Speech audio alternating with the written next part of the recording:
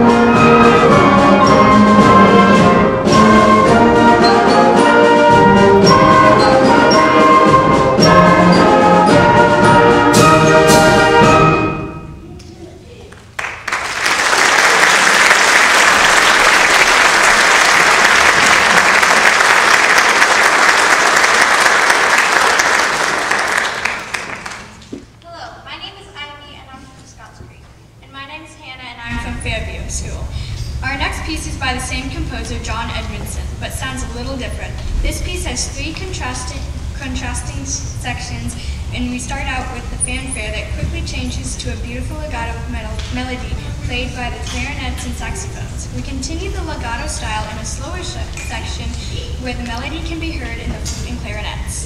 Just when you thought we'd put you to sleep, we transition into march style, where you will hear the melody from beginning come back. Then we end it with another fanfare section very similar to the opening. This piece has challenged us to work on different styles and play at different dynamic levels. We hope you enjoy Silvergate Overture by John Edmondson.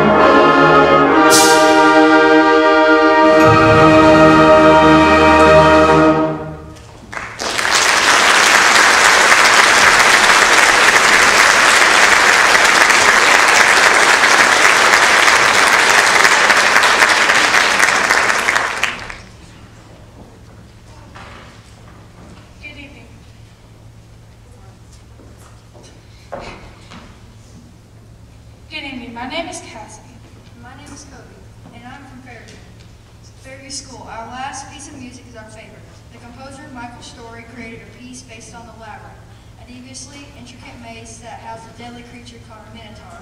The Minotaur is a half man and half bull that would eat 14 children every nine years.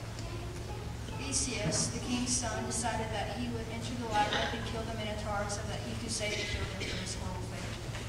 The opening section of this piece is setting the scene for this exciting story. After the introduction, the clarinets and percussion create what we like to think of as the labyrinth itself. Then the trumpets come in with the hero's melody. As the piece progresses, the parts become more intense as we build the story of Theseus in search of the deadly Minotaur. The triumphant ending confirms that our hero did indeed slay the creature. We hope you enjoy Labyrinth by Michael Story.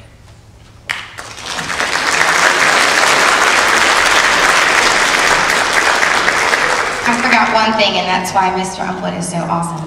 I had five all-district, five students make all-district this year, and what they did is they had to prepare audition material and go compete against students from all over Western North Carolina. We're talking Hendersonville all the way as far west as you can go, Andrews, that area.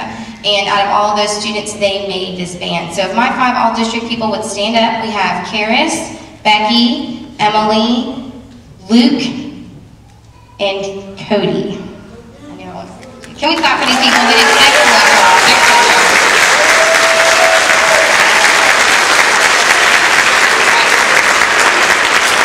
And now I hope you enjoy our last piece called Labyrinth.